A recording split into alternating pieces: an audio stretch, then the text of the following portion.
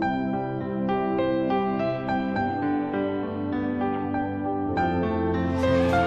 5A State Football Championship was on the line Friday afternoon at Rice Eccles Stadium. A battle between two Region 4 foes as Lone Peak looked for the unbeaten season. Standing in the way, Herriman, a team that Lone Peak beat 30 0 earlier in the year.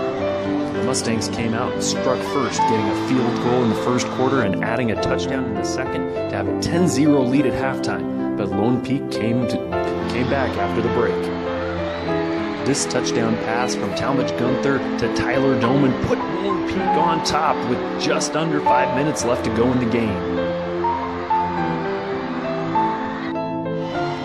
Ball game. Fourth and five for Herriman from their own 48 yard line. Could Lone Peak get the stop?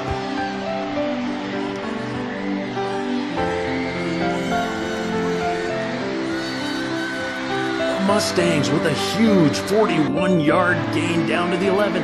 That set up this first down pass down to the one. And then Herriman punched it in with just 22 seconds left to play to take the 17 to 14 lead.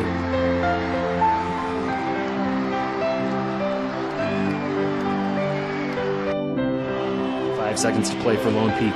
Looking for a miracle. Would it happen for the Knights? The throwback out of bounds, and Herriman wins the 5A state championship 17 to 14. It was a great year for Lone Peak. They get the second place trophy, recognition for an outstanding season, but it wasn't the one they wanted.